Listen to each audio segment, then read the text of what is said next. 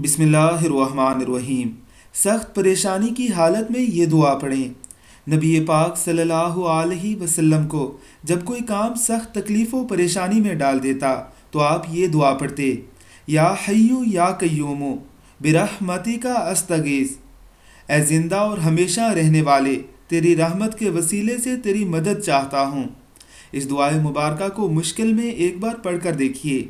थोड़ी देर के व्यर्थ से ही आपको कोई ना कोई हल ज़रूर मिल जाएगा। अल्लाह हम सबको इसका अहतमाम करने की तोफ़ी कता फ़रमाए। आमीन, सुमा